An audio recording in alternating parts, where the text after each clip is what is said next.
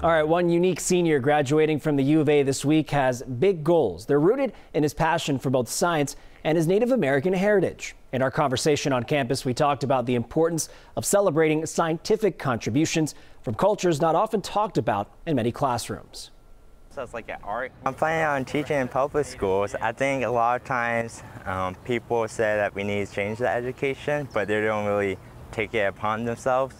So I'm going to be in the field, you know, trying to uh, make those connections. Early in his college career, Omar Solis Acuña says he knew his knowledge in biochemistry would make more of a difference in a classroom instead of a research lab. He's honed his ability to connect with high schoolers by volunteering as a mentor with a University of Arizona group named Native SOAR, which stands for Student Outreach Access and Resiliency. So I think a lot of times, you know, for teachers, they just focus on teaching the subject rather, you know, building the students' confidence up.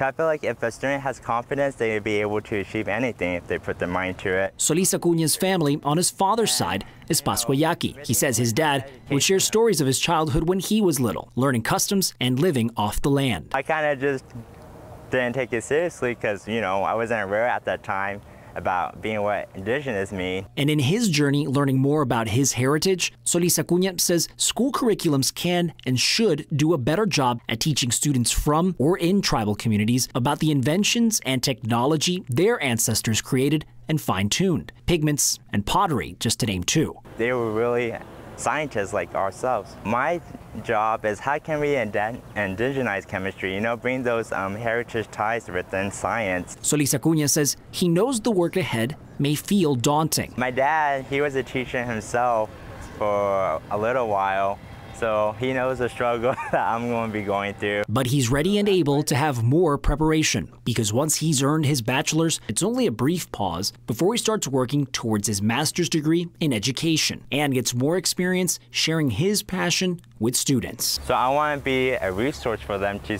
show them, you know, uh, I think a lot of times they feel not confident in the future.